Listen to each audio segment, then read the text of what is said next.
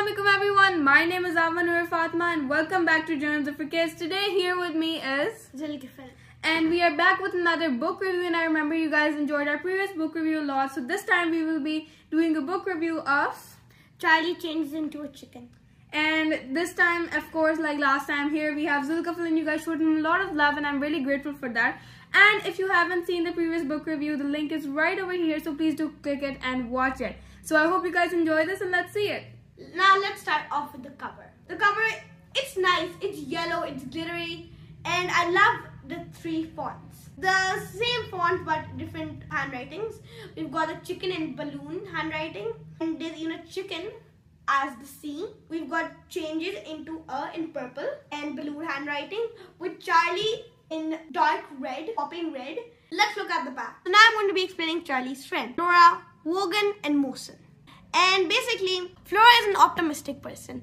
She loves creating crazy ideas, but they always go right, surprisingly. Then we have Wogan. Wogan is a funny guy. He can get very shy sometimes, but just like Mosen, he, they both are very kind. And they both also get in trouble a lot. He is wearing a blue jacket as well, and Wogan is wearing a white t-shirt. Now over here, you may be questioning yourself, who in the world is that? That is Dylan. He is the class bully. And he's trying to expose Charlie that he changes into animals, by the way. And now for Charlie. Whenever Charlie has a specific emotion, he changes into animals. And the emotion you need to find out in the book. He can get very nervous sometimes, and there's a play coming in two weeks. So we need to figure out a cure. But thankfully, Nora, Wogan, and Mosen are here to help him. But Dylan is not. He's trying to expose him. What is he gonna do? What is how is he going to do it? And what will be the effect? Find it in the book. So now I'm going to be reading the text. Charlie McGuffin has an incredible secret. He can turn into animals, all sort of animals. In fact, a animal, a pigeon, and even a rhino. Trouble is, it only happens when he gets worried. And right now, Charlie has quite a lot to worry about. His brother, who's in hospital, his parents, who are panicking, and the school bully, who has Charlie in his sights. With the help of his three friend, three best friends, Charlie needs to find a way to deal with his crazy new power and fast. The modern masterpiece, Daily Telegraph, and the author is Sam Copeland. And he even said himself that there's no important message in this book, Sam, Sam Copeland, and that there's no important message in this book. It's just a funny, hilarious book. And Sarah Horne is the illustrator.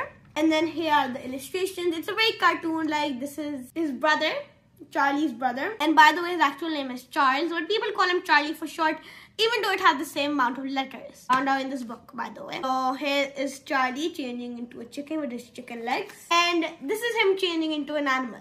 Guess which one it is. Pretty easy though. Now let me show you some of their fonts. And these are this is the font.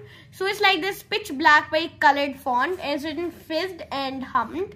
Hummed and fizzed is basically the highlighted one. It's big and thick. That's the kind of font that one is. Over here we have joint handwriting and some massively handwriting to really, you know, highlight the words. So this is a really funny book. You know, you can read it whenever you're sad or whenever you're feeling upset because it'll really make you happy. It'll really brighten up your mood. And also, here is a, a little joke that came from the book itself. So one time, Charlie changed into a spider, BTW, that was the first time he changed into a spider. And he thought of that he was so hairy that he was even hairier than his uncle and a gorilla would be jealous. That was just hilarious. That was one of the first jokes I read and it made me laugh for like a minute or two. It was really hilarious and really fun. So, this is the overall review. I rate this book a 10 out of 10 because it is very good. It has very descriptive words. It's very it's very entertaining. You know, you want to read more. And it's very thrilling and nice and makes you feel in a good mood. All the credits go to Sam Copeland and Sarah Horne. This book is more of a hilarity book, a funny book, a book that will make you laugh, a book that will make you giggle because it has such words that that literally just make you wanna laugh so badly and to the point that my stomach started to hurt Thank you for watching Journalism for Kids. I have another book review and in that book review I reviewed the book Zombierella. Please like this video and subscribe to our YouTube channel. This is Zulkifil signing off.